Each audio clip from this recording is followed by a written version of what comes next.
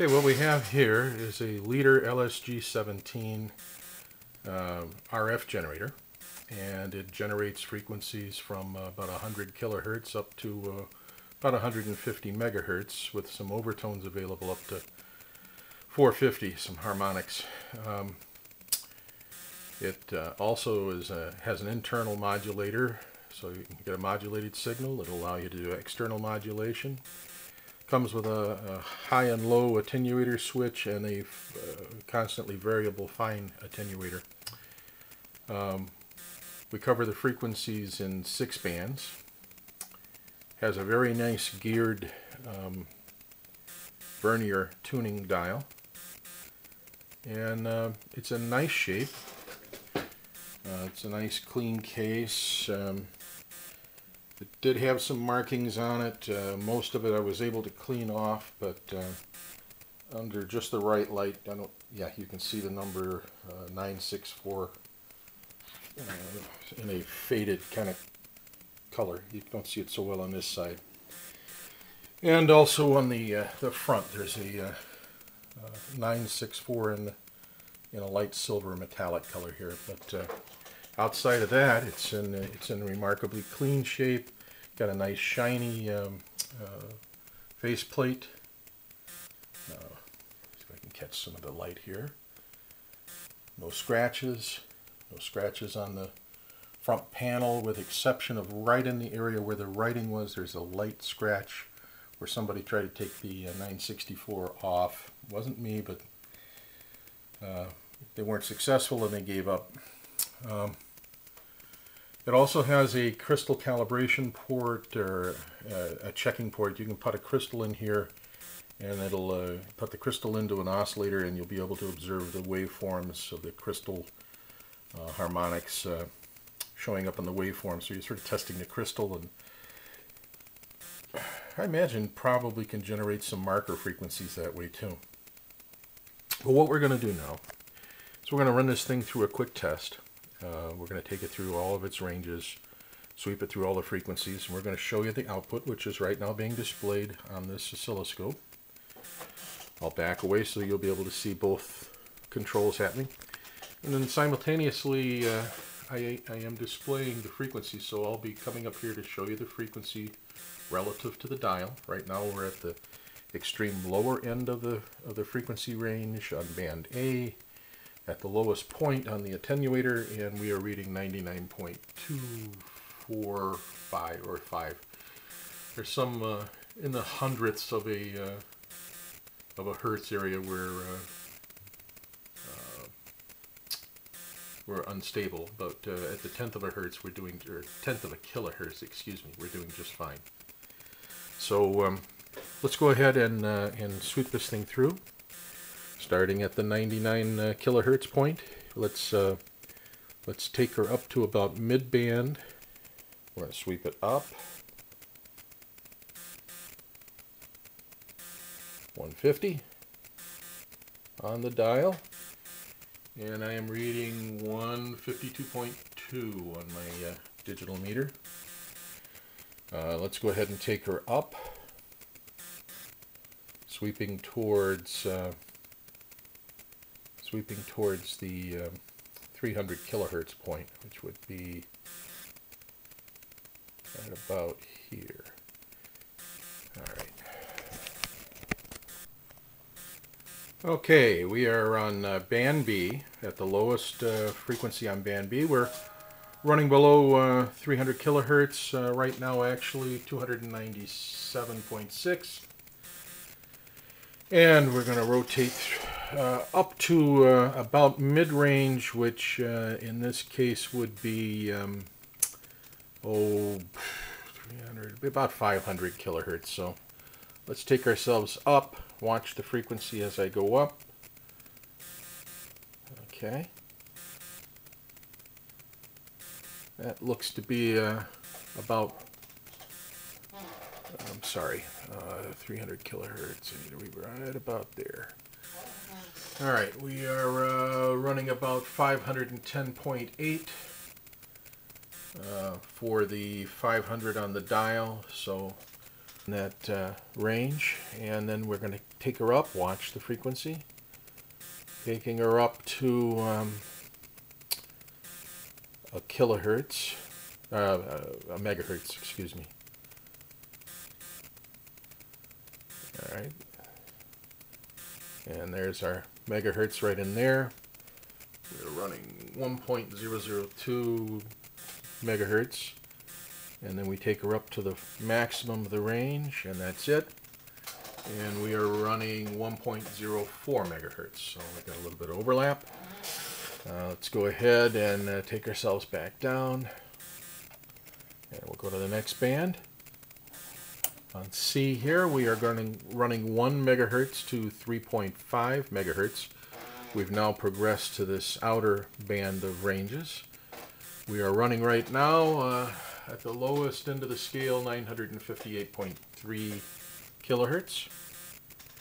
And let's go ahead and take ourselves up to about mid-band, which would be, oh, uh, let's take us up to 2. Alright, uh, that would be about 2 on the vernier. And we are running 2.026 megahertz.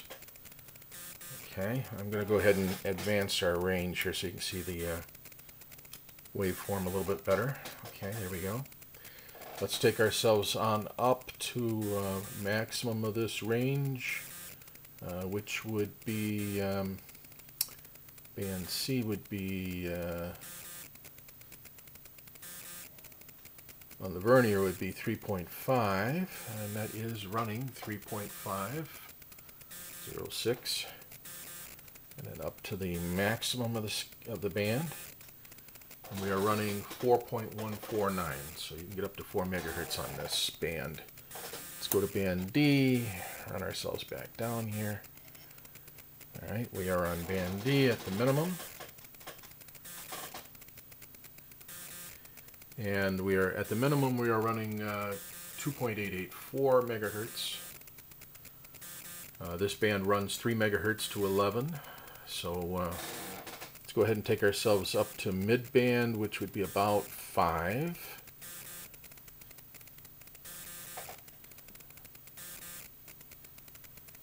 And it is on the vernier at 5, and we are reading 5.08 megahertz.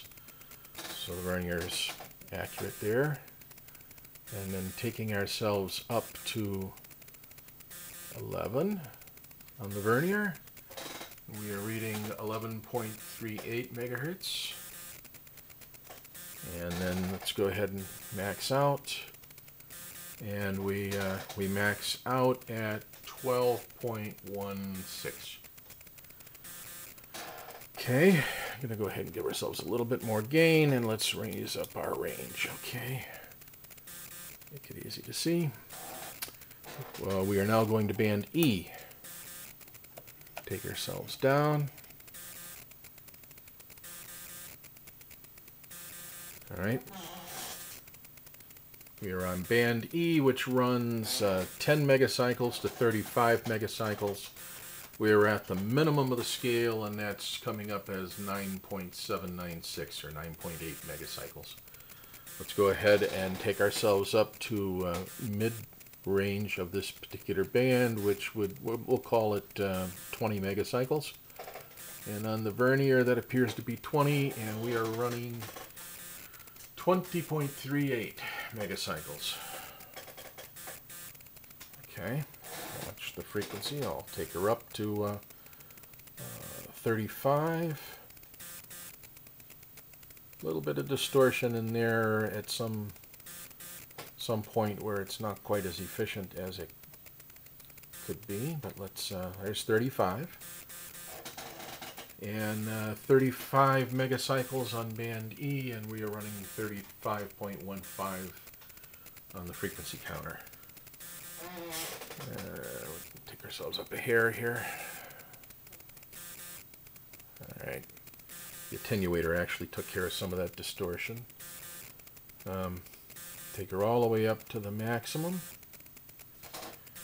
And we are running 40.89 at maximum of the scale. All right, we're going to go to band F, the last band. All right, we're at the low end of band F, and we are running 30.34 megacycles. I'm going to go ahead and remove the um, the counter because the counter is loading this uh, at, at, this point. And we're going to go ahead and uh, take ourselves up, watch the, the uh, frequency as I go up to midband, which uh, I'm going to call midband here, um, oh, we're going to say 32 to um, 40, 50, 60. We'll call it 60. All right, watch the cycles uh, frequency. Try you see this.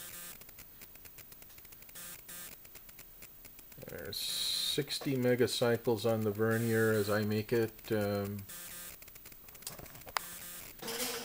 and let's go ahead and connect up the frequency counter for a moment. And there we go, we got 60.1 megacycles and we are looking good. Uh, let's go ahead and uh, I'm going to remove this once again and run us up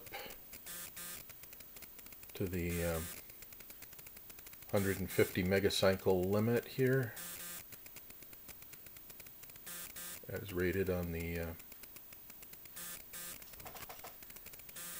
there we go and let's go ahead am I up all the way I am up all the way okay so there's 150 megacycles on a 100 megacycle scope, so of course we've lost some gain. Scope can't display it even. I can, um, I should be able to get a little, there we go. Waveform still looks good. I've multiplied times 10 now. We are at uh, 150 megacycles. Let's uh, go ahead and, and check it out.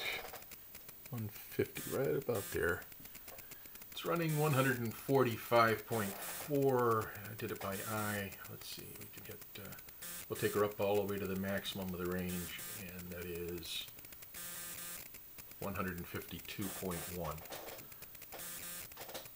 So we can get 152.1 megacycles out of this unit.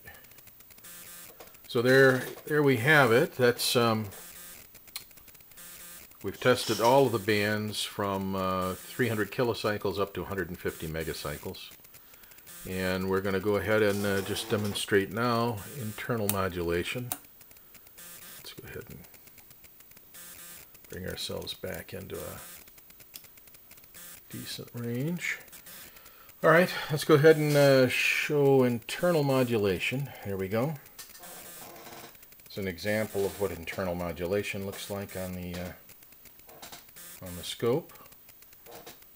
Let's see.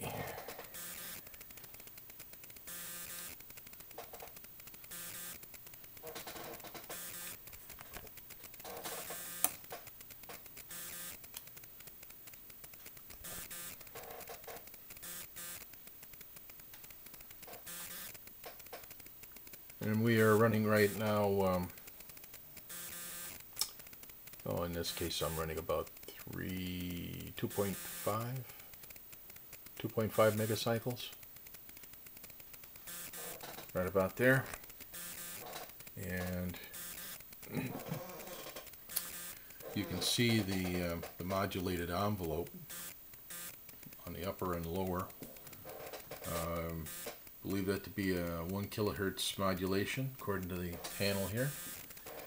And um, we go to external, you don't see a modulated wave. Internal, you see the modulation of the 1 kilohertz. Uh, we have inputs for an external modulation if we wanted. And once again, I don't have a crystal that exactly is meant to work with this, but if I, there, you can see this uh, 100 kilohertz crystal modulating that waveform as well. So. So there you have it. It modulates. Uh, it has great uh, frequency coverage. Uh, it's a very easy to use unit. Uh, got a nice feel to it on the vernier. I like the geared vernier. Very nice. It's a beautiful little unit. So we'll include with this uh, Leader LSG-17 a uh, nice set of leads just like the ones I'm using. They're brand new. They uh, fit this particular model. Uh, we have five-way binding posts here, so I'm using banana leaded ends, as you see. Uh, they're BNC connect, or not BNC, excuse me, they're coax connected to um, uh, to these uh, alligator leads. Uh, so you can get the most flexible uh, connections that way. And um, the manual covers uh, all the instructions on how to use the unit and then also includes um, uh, schematic diagram, calibration technique, that sort of thing. There we go. Here's our schematic diagram. Get out of my way. Um, controls, circuit design, preparation, connections, modulated carrier theory, the uh, crystal oscillator output, audio frequency output, calibration, removal from chassis, and and uh, then the schematic diagram. So, so there you have it. It's a complete package. Thanks for listening.